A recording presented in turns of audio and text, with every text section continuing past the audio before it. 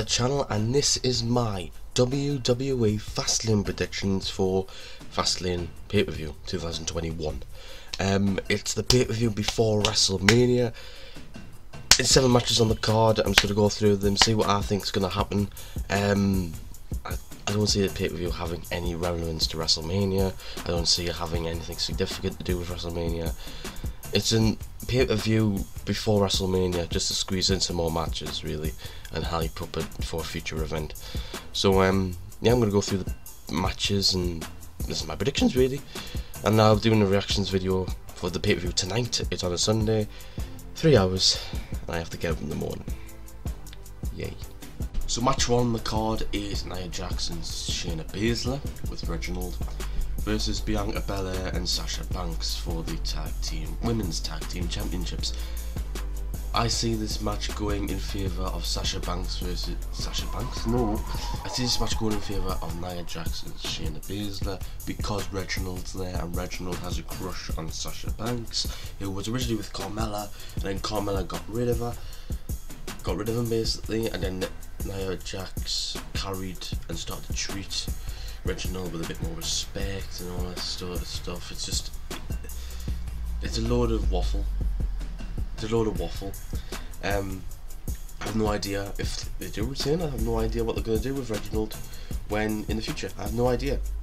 Um, are they going to put him off? Are They're going to keep him as a manager. I just don't see what's coming. I do see that maybe it's Sasha Banks and Reginald coming together, a couple, you know, heel turn maybe, something like that. But I see no relevance Reginald being there when we could have a normal two-on-two match. Um, but my prediction is Shayna Baszler and Nia Jax retain the Women's Tag Team Championships. Thanks, Reginald. So the next match is Roman Reigns and Daniel Bryan with Paul Heyman. Singles match for the Universal Championship. One of the most easiest bets of the night. It's going to Roman Reigns because he has a match at Mania against Edge.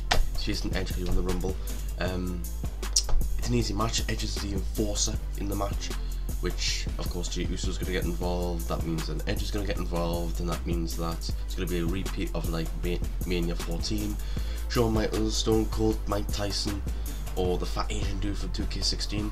Um, they're all going to be in the ring together. It's going to be a massive brawl. It's going to look absolutely crap, but it could be a good match. You never know. You never know. Um, but the, it's going to Roman Reigns. Match three is Big E and the fake African warlord Apollo Crews, who's now put on a fake Jamaican, well, African accent. Fake Jamaican African accent, has a spear in one hand and two African soldiers by his side.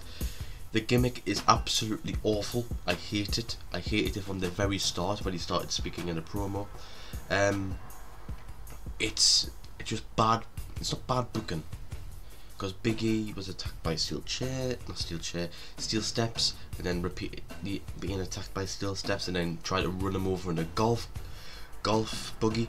Uh, Biggie tried to run over Apollo Crews as a golf buggy, and this match is just built up to this big singles match for the Intercontinental Championship. I'm seeing Apollo. I see Apollo winning it, but I've seen that there was a 20% split that Apollo might not win it. So Big E is the favourite to win this match, but I think Apollo's going to win it because you know what's going to happen. He's then going to do a promo next SmackDown and say, I am the best, I am the best, I can do all this. It's going to be something like that, and then, yeah. So, new champion.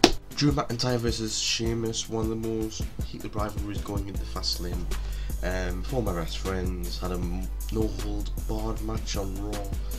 Um, big steel slaps colliding between each other. Match was really thrown out as a no contest. Um, this match is it no holds barred? Let me know. Yes, no holds barred. It's gonna be intense. It's gonna be chaos. But Drew McIntyre's winning. That is my prediction because then he's gonna face uh, Goldberg. Is it Goldberg? I think it's Goldberg at WrestleMania. Yeah, it's Goldberg at WrestleMania because he came on Raw. So get, I think he's facing Goldberg at WrestleMania in the main event again. When he defeated Brock last year. So it should be interesting, but my prediction is going to Drew McIntyre. Next one, let's talk about Satanism with Alexa Bliss versus Randy Orton.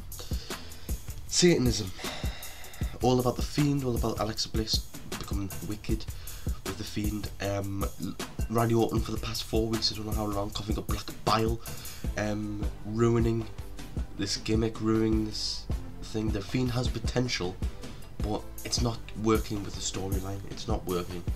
Um, okay, bringing Alexa Bliss in is good because we're having Alexa Bliss's playground, big shoot of fire at Randy Orton on one week on Raw. Um, but I'm gonna predict Alexa Bliss wins with a return from the Fiend because we haven't seen the Fiend since the TLC pay per view because he got basically burnt alive. Burnt alive was a mannequin, obviously, but we haven't seen him since TLC, so that was November or December. So he has to make it to before Mania, otherwise there's no relevance. So that's my prediction. That Randy Orton, no, Alex Bliss is gonna win thanks to. Match six is Shinsuke Nakamura versus Seth Rollins. Seth Rollins making his return from I don't know how long. Um, I'm I'm seeing this as a general house match. If you don't know what that means, basically, if you go to a WWE live event, a typical house style match. Um, no relevance behind it, just a normal one-on-one match in the ring with clean, clean pin.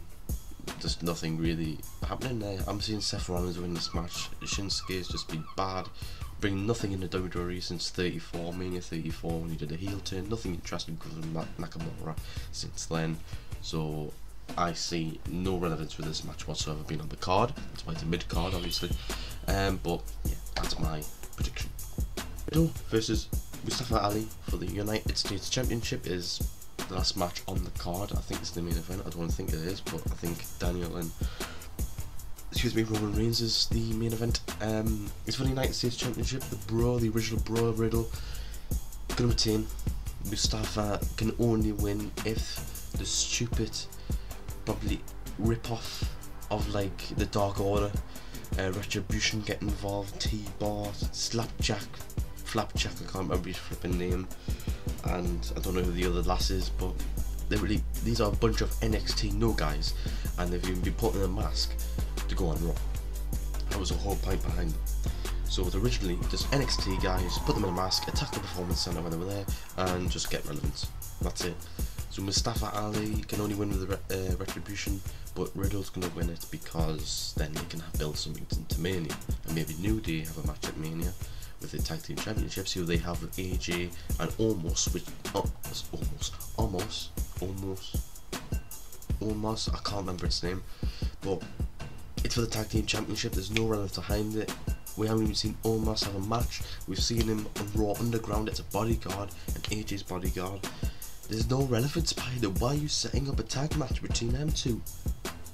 Give it the flipping hurt business rematch clause and then have it a Fastlane, maybe WrestleMania. There's no relevance. But that's the Mania match. Come on, what you doing with AJ? Last year he was facing Undertaker, this year he's facing a tag team match. There's no relevance behind it. But that my prediction is for the Riddle Mustafa Ali match is that Riddle's gonna win a retain. There are my Fastlane predictions. If you enjoy, please hit the like button, stay subscribed to the channel, and comment down below your predictions for the pay per view. And I'll see you later.